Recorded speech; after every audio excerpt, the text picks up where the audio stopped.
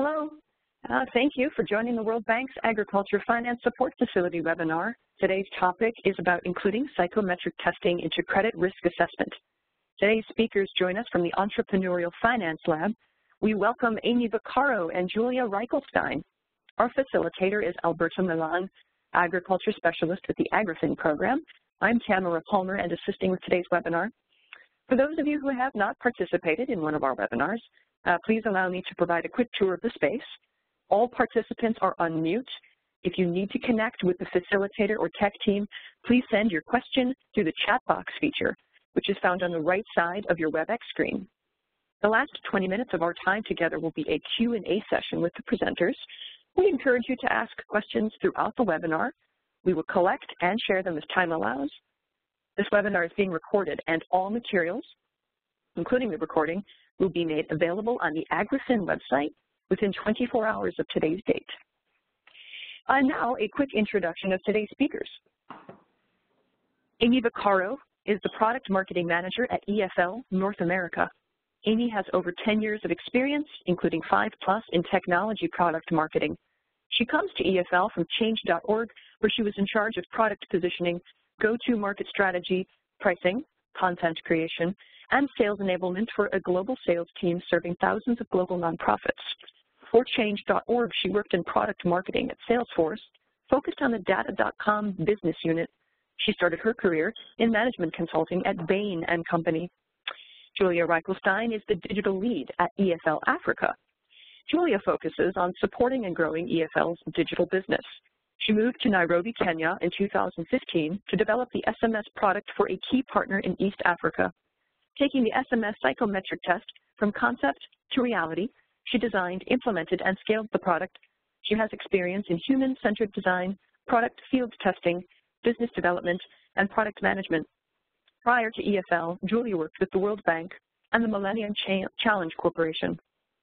The Entrepreneurial Finance Lab, or EFL, provides credit scoring technology for banks in emerging markets to improve access to finance. EFL uses alternative data and innovative technology to power lending in the world's leading financial institutions. EFL's application collects and analyzes non-traditional information about borrowers to better forecast their likelihood of default. I'm going to turn it over now to Alberto, our facilitator, to uh, kick off today's official webinar. Alberto, are you with us? Yes. Hi, good morning, everyone.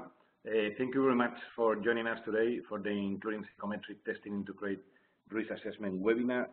We are really excited to have Amy and Julia here today and learn more about their work at the Entrepreneurial Finance Lab.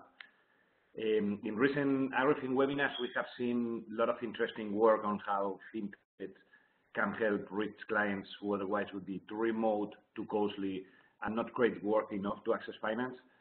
Specifically, we have seen how big data analytics are used to create a score and how mobile technology and mobile money can enable transactions to move into the lower cost digital space, turning previously excluded clients into potentially attractive.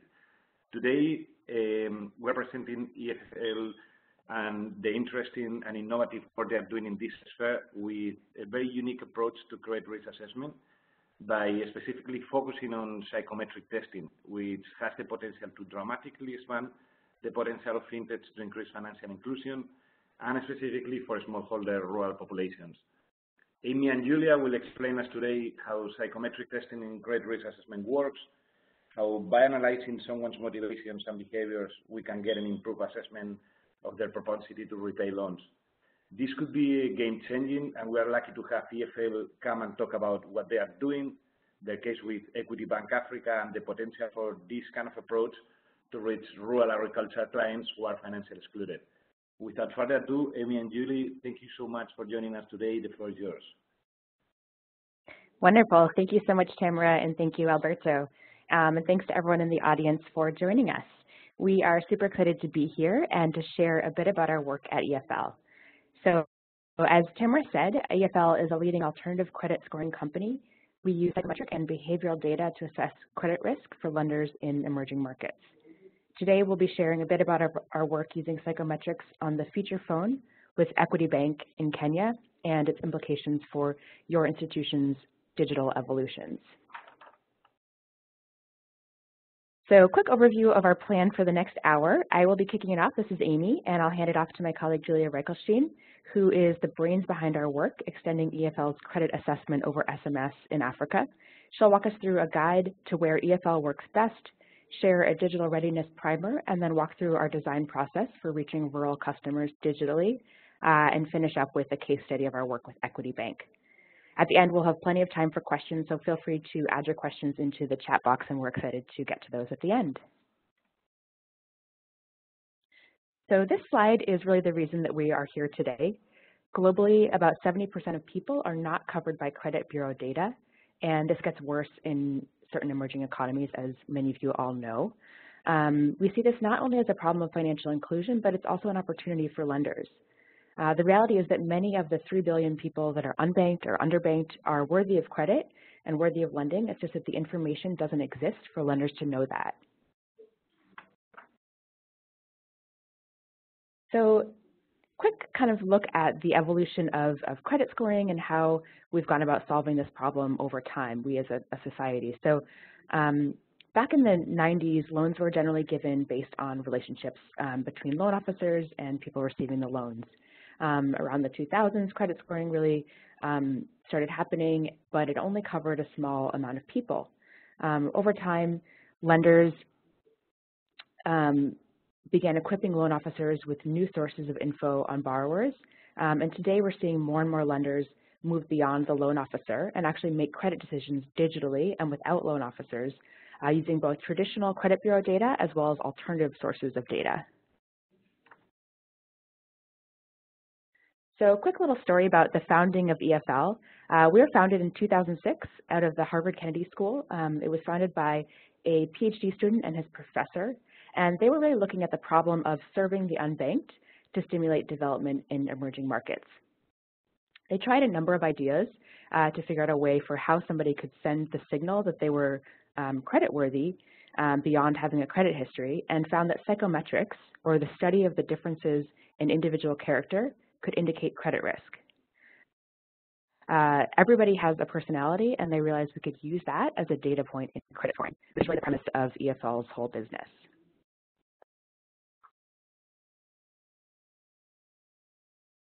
So just kind of a quick look at the different data sources that are out there for use in credit scoring. Um, this chart is based on a study that we did at EFL.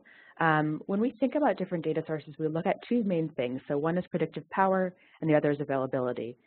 So as you can see here, bureau data is really the most predictive data source, but it's also highly limited in availability. Psychometric data, on the other hand, which is our bread and butter, is 100% available. So that means we can score anyone at any time, um, though predictive power is a bit lower than bureau data. And you can see we also look at mobile data, online data. We're always looking at other sources of data. Um, our goal is not to be a psychometric only company, but a company, an alternative credit scoring company that leverages all the different forms of data that are out there to help people access credit. So just kind of a, a recap um, about EFL. So we are a leading alternative credit scoring company. We've been around for 10 years. Um, we are really proud we've enabled over 1.5 billion in loans globally through the lenders that we work with. And we've built up a very strong track record working with financial institutions across Latin America, Asia, Africa, and Europe. Our psychometric and behavioral data science can be applied universally uh, to any prospect and online to help lenders say yes where they would have had to say no to more low information borrowers.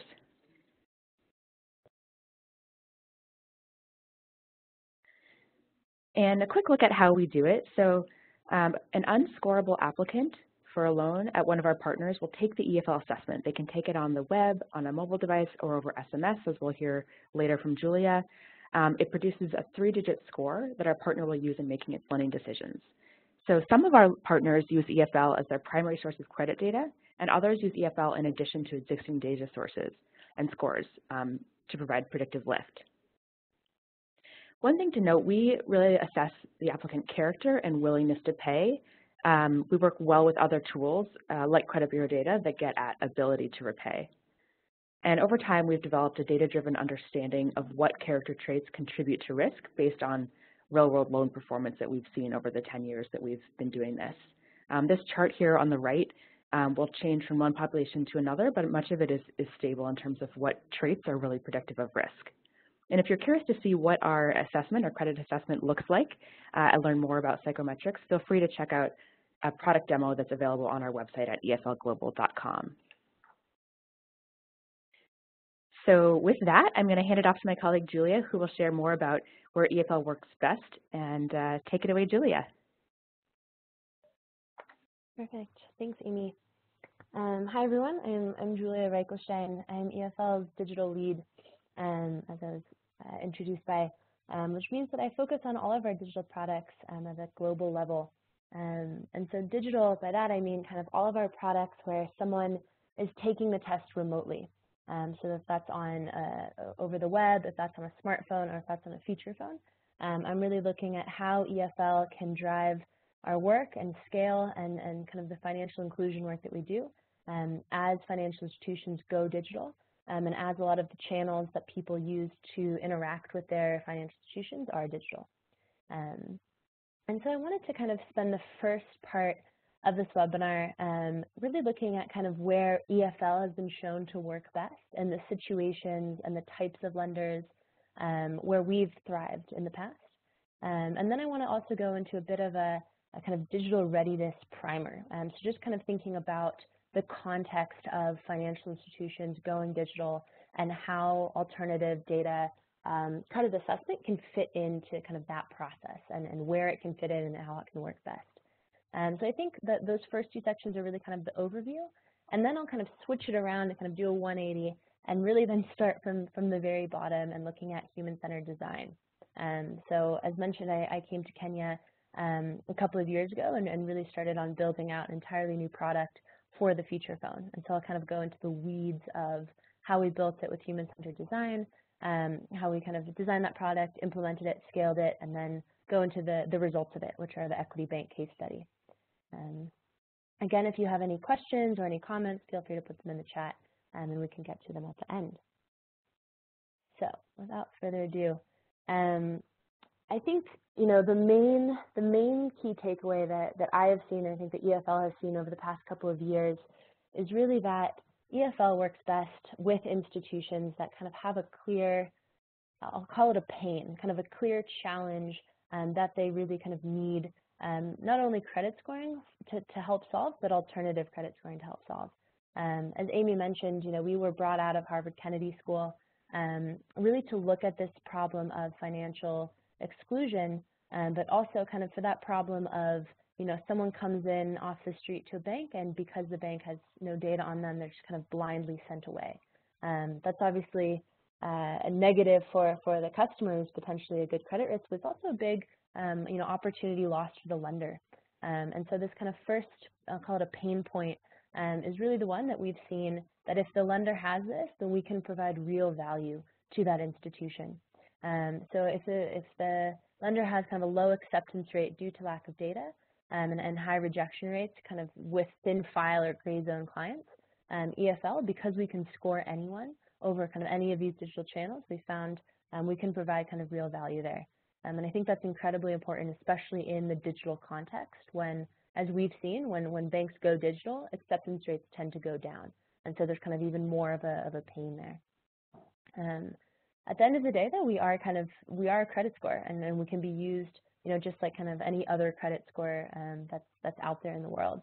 And so we are, you know, used in different contexts and in different situations. And so sometimes we are used with lenders that see high levels of default um, and they, you know, bring us in to help cut out the, the you know, um, bottom X percent of borrowers, try to cut out, you know, that, that top level of default. Um, and then we're also used in some processes of actually trying to um, decrease the, the length of the loan application process. So some of our um, partners will bring the EFL test in at the beginning and um, use this as a way to sort um, kind of who to spend time on and who not to spend time on. Um, I think this one is actually particularly relevant in the non-digital context. So when there's still loan officers, you can imagine, you know, someone taking a test at the, at the beginning, and because the um, because the application process is pretty expensive for the lender, with field visits, with staff time, with loan officer time, um, they actually use EFL as a way to sort through kind of all the applicants and, and cut the cost and time of application. Um, and so at the at, you know at the end of the day, that's really kind of where where our scores are, are working best. Um, again, not increasing the acceptance rate um, or decreasing default or, or kind of increasing operational efficiency. Um, and we can be used in combination. And so we do have, have cases where we see kind of a, a swap set um, use case where we're kind of not only increasing their acceptance rate, but you know we we help them you know think about also who their kind of most risky clients are, so we can in some ways decrease their default rate and then also increase their acceptance rate, um, which is which is a really powerful tool for for a lot of our partners. Um, and, and so I think from kind of that standpoint of really, you know, what pain is EFL trying to solve, then we can come in and say, okay, how can we build you kind of a custom solution um, and, and pick the right product and the right setup to, to see, have you see kind of success with the EFL tool. Um, just kind of an, another kind of primer on where we're successful and with which institutions. Um, I think that I've seen institutional readiness be, be a really large factor of success. Um, and so we've you know, we've worked with a lot of partners kind of across the globe. As, as Amy mentioned, we're in Latin America, we're in Africa, we're in Asia, we're now in Europe as well. Um, and we've seen some partnerships thrive, and we've seen some that, that haven't hasn't done as well.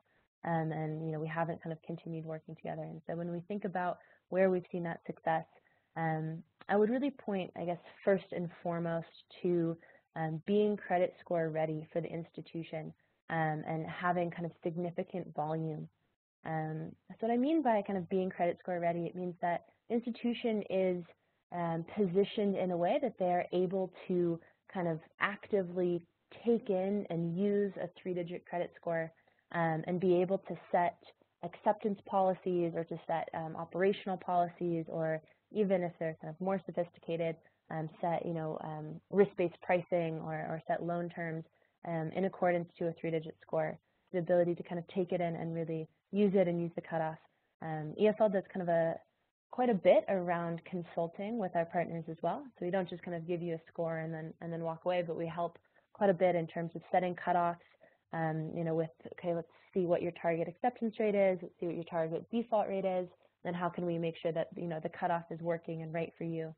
Um, and then we also work a lot with you know, actually adding in all these other data sources that the, the lender has that are potentially more traditional data sources. So we'll work with lenders to create a custom scorecard with our score and a bureau score um, or an internal behavioral score. We'll even kind of come together and build an ensemble model, um, you know, for all these different scores for the for the lenders so that they're getting kind of maximum predictive power um, with EFL playing a role in that. Um, so kind of being credit score ready, I think, is, is first and foremost. Um, and then also I'd say that, you know, kind of right underneath there is, is also high volume. Um, by high volume, it's, you know, it's always kind of a, a moving target, but I'd say especially in the digital world, high volume means that, you know, they're dispersing and receiving, you know, in the thousands, if not tens of thousands of, of credit applications per month. Um, we have seen kind of lower volume lenders, um, and we can still work, and I think that it's, it's, it's still, um, it's still feasible, but really, you know, the the value add of credit scoring, um, especially, um, you know, an EFL credit score is, is actually um, it's it's maximized when when you have kind of a critical mass of volume. Because really, at the end of the day, credit scoring is segmenting your population, and if your population is kind of too small, um, then we can see, you know, just from our pricing and from you know what we're contributing back to the partner, and too low volumes actually is kind of a barrier to to a thriving partnership. And then the other two I'd say um, are just kind of institutional mindset. Um, so kind of an ability for the institution to push forward um, kind of across all levels. So, you know, we work, you know, across financial institutions. So we work in the risk department, we work with commercials, we work with the management team. So an ability for the motivated team to kind of really be willing to, um, you know, take in what is in some ways kind of a risky and an innovative solution and you know give it a chance and implement it and, and kind of are driven to really see it succeed. Um, and kind of in that lane, also having kind of a, this innovation mindset. Um, so a willingness to try a new solution and a willingness to um, you know have EFL come in and, and, prove that we can work and are predictive and can kind of create value for that institution, um, which is kind of a, a risk. Um, and it's also kind of a, a mindset of, you know, moving towards the digital, um, as I'll see in a second. Um, you know, a lot of what EFL does these days is helping institutions actually take their first digital step or, you know, take another step towards becoming digital, digitized um, as, you know, as institutions go that direction. So really I would say that's kind of how we classify a, a really um, strong partnership and, and, a partnership that um, we've seen to be successful.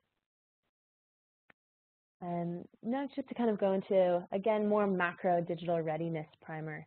Um, so I think overall, uh, financial institutions are, are going global, are going digital globally, um, which is something that I'm sure everyone here um, who's, who's in a financial institution has kind of been beaten over the head with. Um, and it's been going on for a few years now, so I'm sorry to put another slide in front of your face that says exactly the same thing. Um, I know, you know, all of these conferences are about kind of going digital and what it means. Um, but I think, you know, at the end of the day, it, it is important. Um, and it's important, you know, for a lot of different reasons, but it's important for financial institutions kind of specifically just on their ability to scale and their ability to kind of um, cost effectively serve customers. Um, this is just one kind of data point. I know there's, there's a lot out there.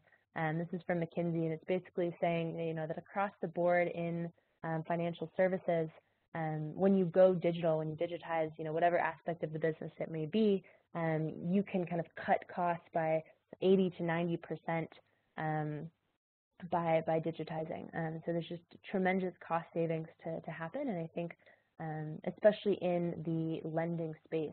And so it doesn't say here explicitly, but in this transactions category, this kind of third bubble here, um, this is where they're kind of classifying all loans as well, so it's transactions and loans.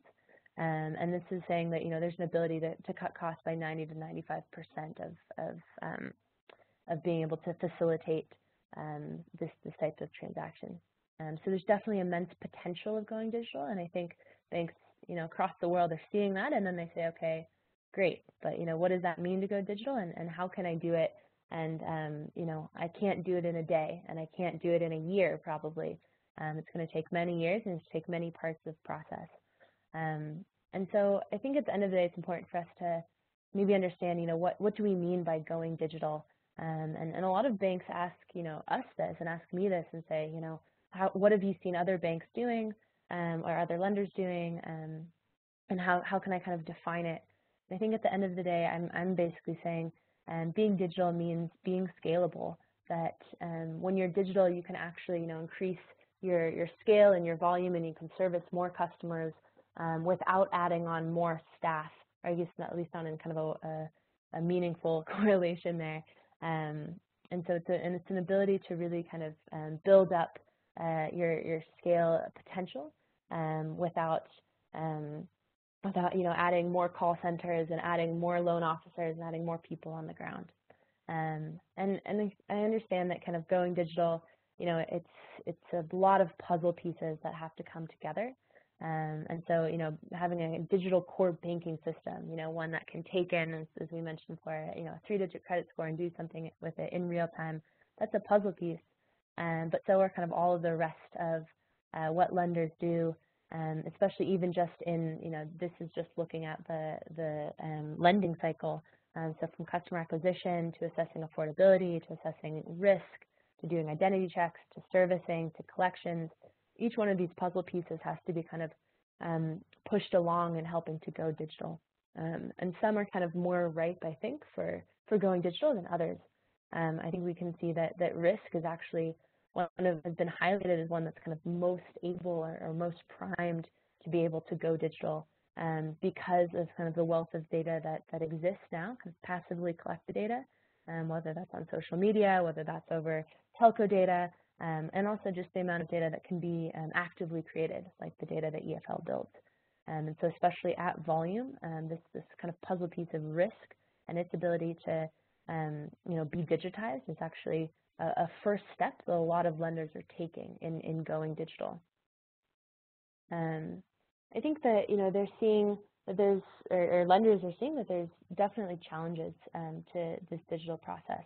Um, I think you know no one no one likes this reality, but I mean I, have seen I think you know we have EFL EFL have seen um, pretty standard increased risk when it comes to going digital. Um, you know, if someone is taking a loan, um, you know, from their computer, from their from their phone, um, that's a really different dynamic than kind of having an in-person relationship with a loan officer. Um, and what I've seen kind of across the across the spectrum is that um, you know because of that, uh, default rates do go up when you go digital.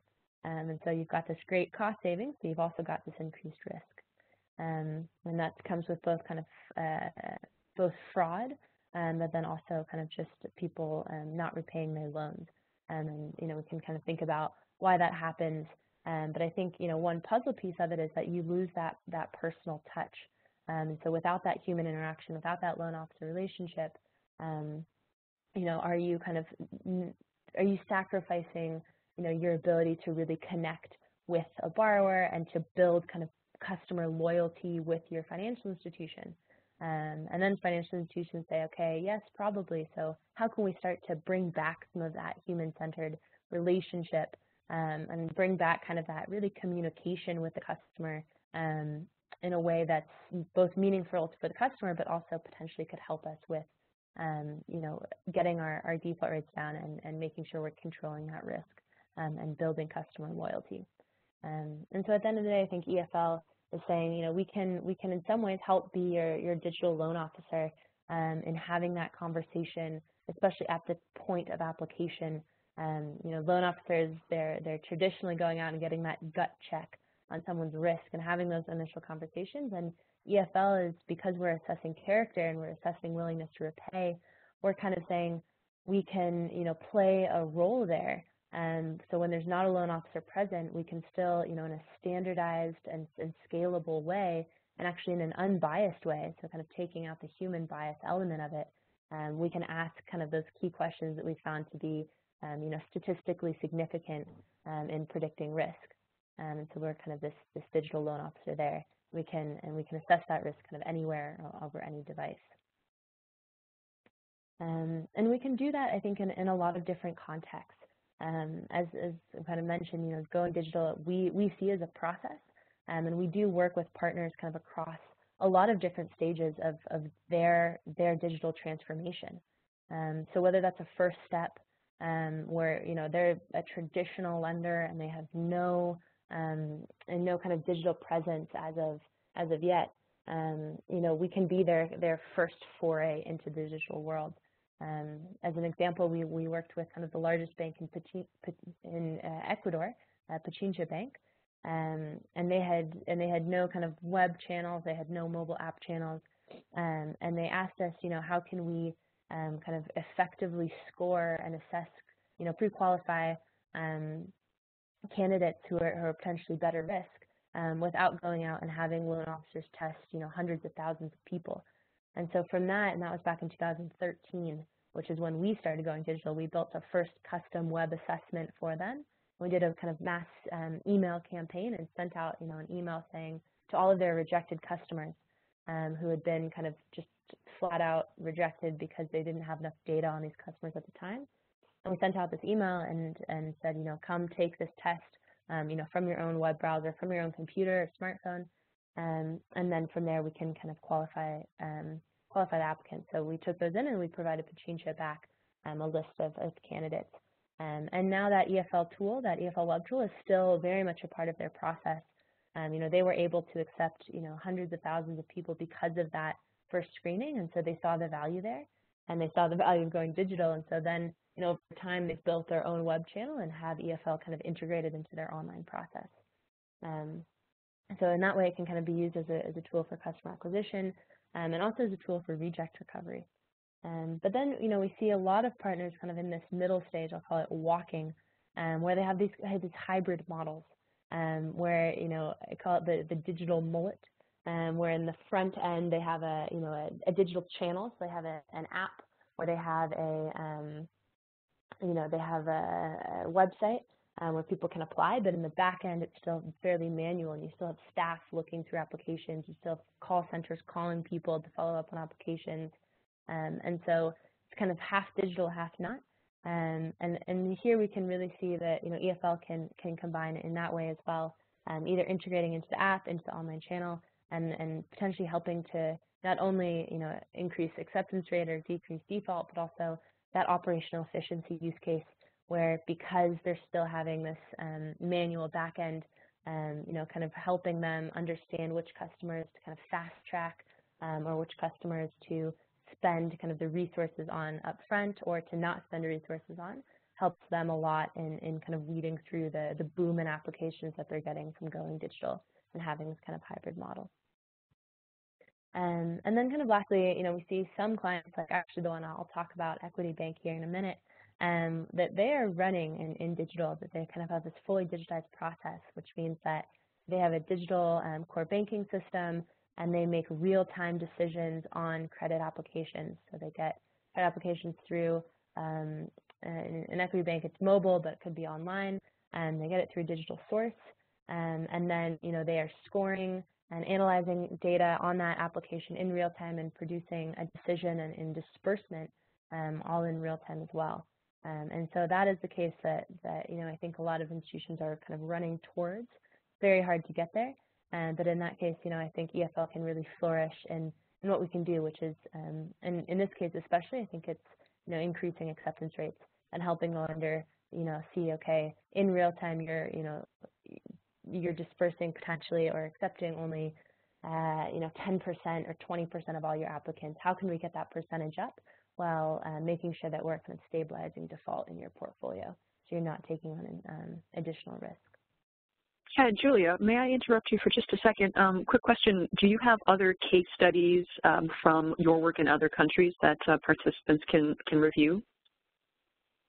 Yeah, yeah, definitely. Um, so they are all on our website. Um, so if you go to, to eflglobal.com, uh, there's a ton of case studies there. Um, and, and they kind of look at, yeah, all of these different use cases um, with different lenders across the world um, and on different channels as well. Um, so if you're interested, you can, you can go to the website and, and there's kind of a wealth there. Okay, thank you. Yeah. Okay, um, so I think that you know that kind of sums up my my macro thoughts on on where EFL works best and kind of how we work in the digital process. And now I'm going to, as I said, kind of really transition and go into the weeds of it. Um, and so this is going to be a kind of a bit of a 180. Um, but it's really kind of me, I guess, sharing my journey here that I've had in Kenya um, uh, with the with the design process for for this feature phone application, um, and then kind of looking at the results of it. Um, so I think that um, you know I, I came to Kenya in 2000, early 2015 um, with a challenge to build a feature phone version of um, our assessment. And so what Amy described earlier, you know, our assessment is usually on um, on a tablet, on a web application, on a smartphone. It has images, it has games, it has exercises. And we look at you know a wealth of data in um, in what's coming in, you know, both not just on kind of the psychometric content itself, so what someone is, is answering about, um, you know, their, their opinions, their view of themselves and their community. We ask about budgeting. We ask about, you know, fluid intelligence. Uh, we ask about, um, you know, all sorts of things on optimism and honesty and locus of control. I mean, there's, there's just, you know, a ton of categories that, that we're getting data on. Um, so in the psychometric content, and then also on the metadata, right? So how someone is interacting with the test, um, how they're clicking through it, are they going, you know, back and forth, are they changing their answers, how long does it take for them to answer certain questions versus others. Um, so we're seeing a lot, just a wealth of data in those traditional channels. And then, um, you know, we we had a, an engagement with Equity Bank um, here in Kenya, and Equity Bank is one of the largest lenders in the region. Um, and they had acquired an MVNO, Equitel at the time, um, and they were kind of keen to start doing mobile lending. And so that's lending where you know someone literally just has a feature phone, or it could be a smartphone. Kenya is more likely than not it's a feature phone, and they can on their you know SDK uh, USSD menu go in and, and request a loan. Um, and they request this loan, and, and as kind of we saw before, uh, equity is, is kind of running at digital. So they request a loan, and in real time, they're assessing the credit risk, they're assessing the application, and then they're dispersing. Um, and so they really wanted to expand this product, but they wanted to have um, EFL come in and, and you know do a test that was able, um, someone was able to take the assessment actually over their feature phone. and so my, my uh, challenge here was to uh, design a, an SMS version of the test, and a version of the test where we still had strong predictive power, um, but we got none of those games, none of those exercises, none of that metadata, um, and really had to kind of start from scratch on, on thinking about how someone could, um, you know, take, take an EFL test just over, just over SMS.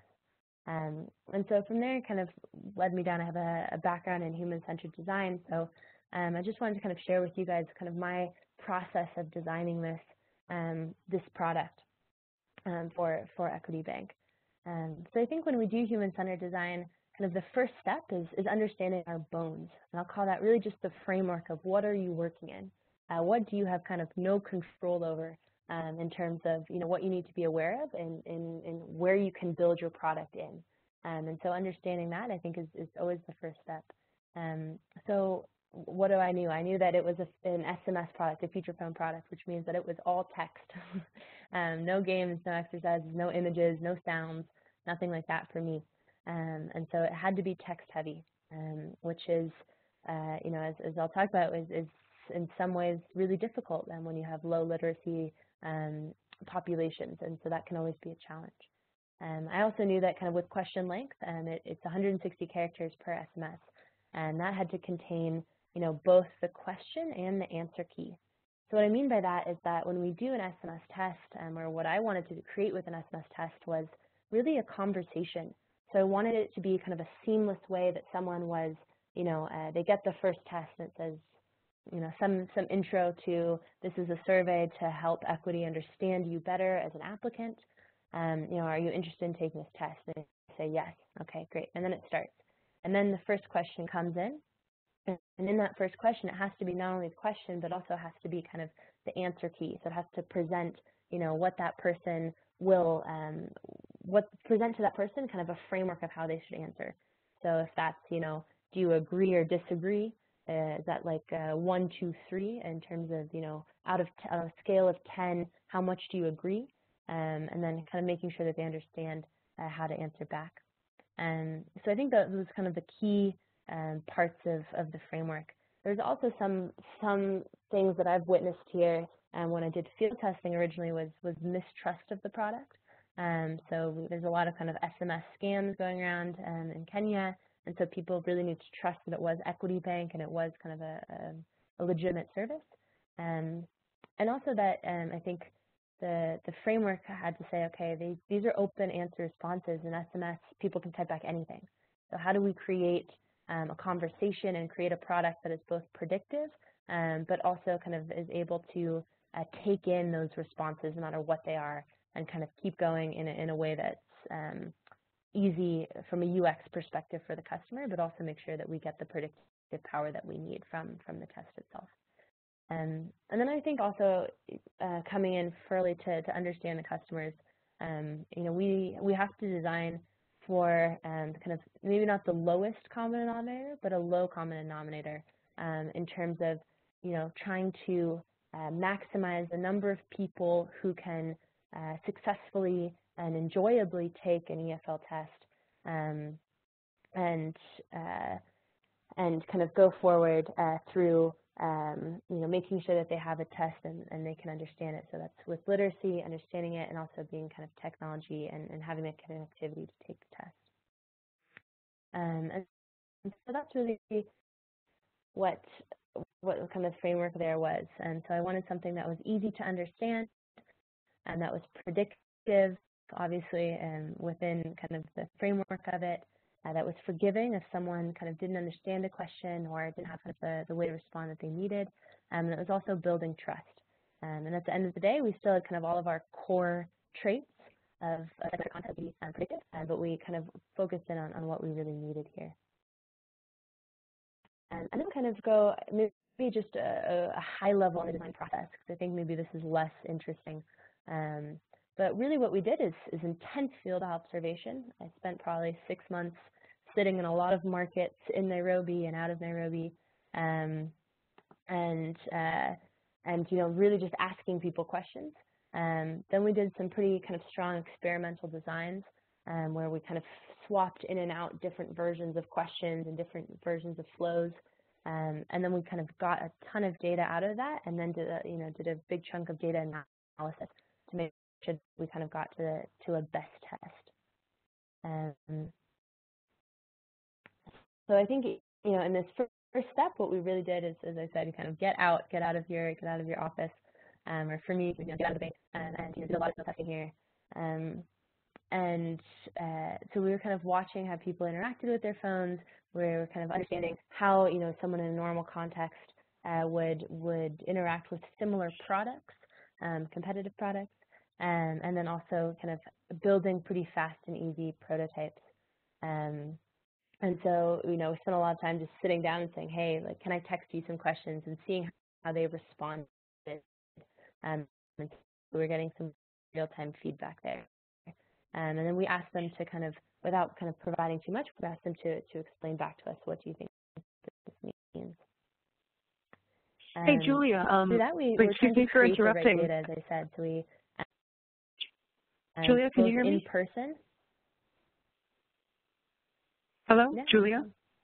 Hi, sorry, I was just going to say, um, we're, we're getting close to the portion of the, of the presentation where we'd like to open up the Q&A. So um, I, I was hoping we could maybe leave, leave some of these slides um, for now and then uh, jump ahead a bit to um, get into a little bit more of the psychometric aspect of this design and then um, talk about the EFL case study results and then we'll open up for the Q&A. Is that, is that all right?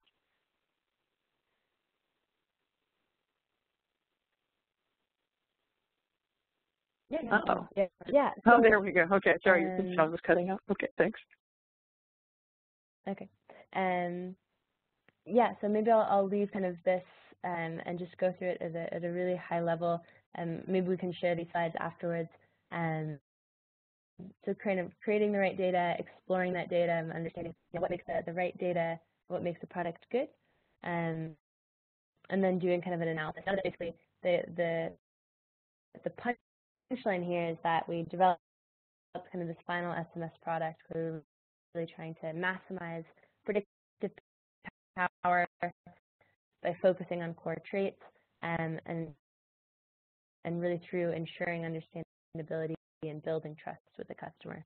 Um, so I won't go into the details here, um, but hopefully um, we can share these slides afterwards on, on kind of if, if you're interested in, in what it meant to kind of build the product. And so then I'll kind of go quickly into to the um, equity bank case study. Um, so I already kind of, I think, outlined the challenge here. The challenge really was, can we create a predictive credit scoring product, product, that someone can take over their feature phone? Um, and the results, I'm kind of, happy to say, uh, is, is, yes to that question. Um, there are kind of two main in designing this, and, and this is actually just what I presented to you guys. Um, designing this uh, was really trying to validate kind of a, a, high conversion rate. So I think this goes to the understandability of it. So was someone able to uh, take the test and, and, could we limit drop-off? Because in the digital world, drop-off is kind of a, a major uh, pain point, I think, uh, where people will kind of leave a test or leave an application. So that, that points to the UX of the SMS test. Um, and then also making sure that it's predictive and at the psychometric content, um, we could we were able to build kind of a predictive model on it. Um, and so from that, we kind of took took all this in and, and ran this full pilot um, with with Equity Bank. Um, I'm going to kind of skip over some of this, um, but it, it, the results of it were really that um, we were able to, to build the predictive model. Um, so within a period of about four months, months, three to four months, um, we completed almost 25,000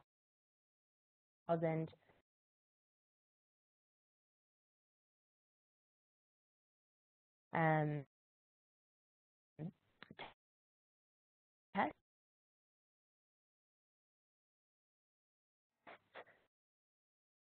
Um, and, so from this, the, the kind of the uh, the framework of, of the test uh, was about 20 questions that someone was taking conversation style. And we, we saw, um, you know, Julia, um, we're, we're only catching about every other word right now. Um, please just test your, your headphones and make and sure they're well connected.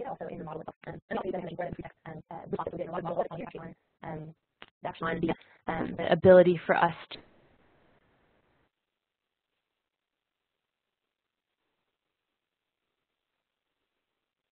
I think that's better. Yeah, this is Amy. Hi, Amy. Is sure. we? I can hear you. I think the rest of the participants can. I, I think we may have um, lost a, a, strong connection for Julia's sound.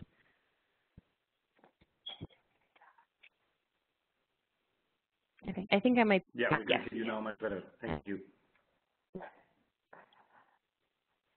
Okay. So I, I, don't know if I kind of need to, to go back and reiterate, but I think the punchline was uh, low drop-off rates and uh, um, as kind of a strong predictive power um, just stand alone. Um, and so then, then that's kind of the, the, the kind of end of the story here of building this product.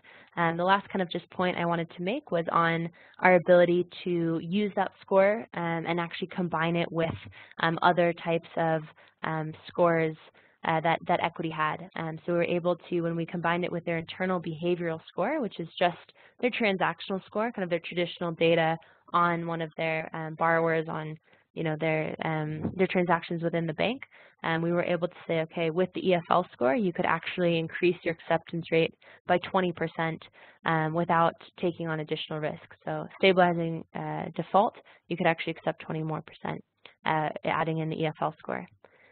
And then similarly, uh, we saw that you know the traditional bureau here in Kenya is, is pretty new and that it wasn't quite working so well in predictive power for Equity Bank. And so we saw that when we actually brought in the EFL score on top of the bureau score, um, you know, we could actually increase acceptance rates by 53% um, without um, Equity Bank taking on additional risk. Um, so at the end of the day, we're, we're saying, you know, we EFL, uh, we were predictive in this in this product for them, um, and we saw kind of a successful UX for them. Um, but we were also finding different bad people and different good people than their traditional data sources, which at the end of the day is really what we need to, to show um, to show value, right? It's not enough to just be predictive. We have to kind of add additional predictive lift on top of um, on top of their traditional sources. Um, so we're able to do that and and uh, and move forward there. So I'm going to stop. I know I've just talked for over half an hour and over my time, um, so maybe we can can transition back to, to Q&A. Thank you very much, uh, Julia, for this really interesting and uh, insightful presentation and on the innovative work that you guys are doing. Uh, we'd like to quickly ask you a few questions that we had regarding your presentation and also that uh, the audience was raising. One of them would be, uh, what is the, for those financial institutions that are interested to move into this space, what is the evidence base of psychometric testing when making lending decisions? What is the way that this can contribute to a wider scorecard or credit scoring? Yeah. So sorry, is the question then, um, how do we kind of assess the value that we provide? Exactly. If a financial institution was interested to get into or expand these services, start using these services, uh, what would be the added, what is the evidence that using psychometric testing for making lending yeah. decisions could actually increase and improve credit scoring. Yeah, definitely. Um, so one thing I love about about credit scoring is that it's actually you know quite uh, quite straightforward to assess. Um, I guess how well your model is predicting. So we use I think pretty standard industry metrics on area under curve or, or Gini coefficient on, to understand how predictive we are. Um, but again, kind of that's not enough. And so then what we come in is we also say, you know, we, um, you know, we not only are predictive, but we're, you know, adding predictive lift of X amount to whatever um, scoring that institution is already using. Um, and it varies on customers. You know, every every partner that we've worked with sees different results um, in terms of the added predictive lift, in terms of the value that we're creating, and it depends on the use case. I think of you know, are we there to increase your acceptance rate? Are we there to cut out your default? Are we there to you know do operational efficiency? Um, but uh, I think across the board we've seen that you know we we can be predictive and add kind of predictive lift to get at the goals of whatever that specific institution is, is trying to do with kind of this alternative credit score. Okay, yeah, that makes a lot of sense. Thank you so much for clarifying. Um, how do you assess the the gap between the potential gap, basically, between willingness to pay from a client and as a cause of default relative to the ability to pay? Yeah. Um, so I think traditionally we've said, you know, EFL really comes in on on willingness to repay, um, and we do a little bit on on ability um, because especially with our kind of business tests, um, we do look at kind of um, some things that you might um, see correlated to business success in your business. So we look at kind of business acumen and budgeting and fluid intelligence. And we've seen that that sometimes is linked to how kind of successful the entrepreneur is in their business, and then of course that also gets at affordability. Um, but at the main point, we, we really look at willingness. Um, and I would say that you know willingness at the end of the day should be one puzzle piece in, in a broader one. Um, we don't kind of encourage our customers to, to only use the willingness part because obviously affordability and kind of all these other checks are, are quite important. Um, in terms of kind of assessing what percent of predictive power comes from willingness to repay versus ability to repay. Um, I might say that, uh, you know, it's, I would say that, you know, it really depends on, on context as well and on the type of product. Um, I think that, you know, with larger loans, um, so with uh, like SME loans um, or, or um, kind of larger even retail loans that, that affordability comes kind of more into play there. Um, and then when you have kind of smaller, potentially more digital loans, like the ones at Equity, these kind of nano loans, um, then I see that willingness to repay is actually a much, um, much stronger part of the puzzle because, you know, assessing someone's affordability to repay a $15 loan, And that's actually, you know, most people can repay a $15 loan. Looking at their income statements isn't going to tell you that it's really more of, okay, if you text someone somewhere $15, do they have the character, do they have the willingness to repay you? Um, so I think it kind of depends on that context as well. Okay, excellent. Thanks so much for clarifying this answer. Uh, how how would you do or how do you go about uh, addressing those market segments where literacy rates might not be as high, like in rural areas or agricultural clients in more remote locations? What is there any other mechanism or opportunity to use still use psychometrics, or how do you go about it? Yeah. So I think our kind of actually our traditional product was was quite good on that. Um, so the traditional one is is with a loan officer, um, and and we see this with with really kind of low literacy clients. Um, sometimes that's the best option. Um, so we kind of have a tablet test, and the loan officer will sit there with them and, and basically read aloud the test and, and help them through it. Um, and we've kind of created um, pretty robust metrics around making sure that you know the loan officer is not gaming the system and there's kind of no cheating involved. And so in that way, kind of even a low literacy, no literacy um, person can can take the test. Um, but I think that you know as it goes digital, we are very much focused on that. It's actually something I'm I'm working on now um, with saying, okay, we really want to go digital even with uh, low literacy clients. How could we maybe do that through like IVR, um, right? So like a phone call um, where someone can just uh, either press a button on their phone or, or actually just have a have an actual phone conversation and, and have us be able to get kind of scalable uh, data or um, and, and, kind of quality data out of it. Um, so that's through like potentially like natural language processing. Um, but I think we're still a bit of ways away of that, but it's definitely something on our, our R&D roadmap. Okay, it's great to hear that. Uh, just for the purpose of AgriFin and the nature of its work, like what is the potential of the actual use in the agricultural space? And how do you see this approach being able to fill gaps where no other uh, relevant data exists? Yeah. Yes, we actually work with um, Juhudi Kilimo here in, in Kenya, um, and I work with them here in Nairobi specifically. Um, and they are a, an agricultural lender, um, one of one of the largest in Kenya. Um, and they use us um, for kind of really that just that key use case of trying to increase their acceptance rates. Um, they've seen kind of uh, an, an inability to be able to um, kind of accept the people that they that they want to accept because they're they're just seeing too high default rates. So they needed a way to to gather more data on on their applicants um, at kind of time of application.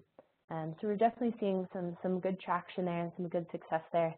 Um, I would say that though, obviously with agricultural loans, it is, you know, it is especially in this context.